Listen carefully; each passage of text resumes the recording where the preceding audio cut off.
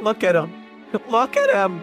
Milton Snavely Hershey, you are in a new life. For now on. Hey, I'm Milton Hershey. And I want to tell you guys how caramels are facts and chocolates are permanent. So, I want to tell you where it all started and how I began. Before we moved and my sister was born and died, everything changed.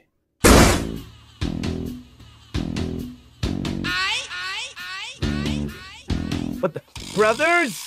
You need to get up to the farm where you can have fresh milk and eggs every day. Okay. Why does a place look like it's been demolished? Listen, I understand that you guys are broke, but we can help you. I understand.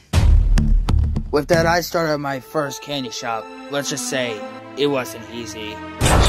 Oh. Mm-hmm. After my bankruptcy on my first shop, I started my own journey. And let's just say, like, I have a rough life and fun life, so my dreams came true. You have become the black sheep of the eyes of the Snavely. Is that a good idea? Probably. Are you sure about that? I think so. Here we go.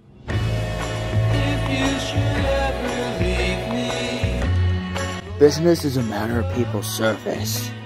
I won't live to see the day when there will be horseless carriages and flight machines, but you will.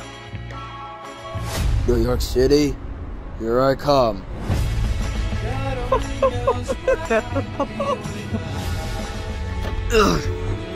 Let me out.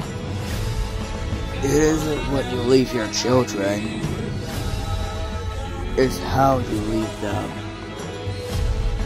Give them quality. It's the best kind of advertising. If we had helped hundred children, it would have been worthwhile.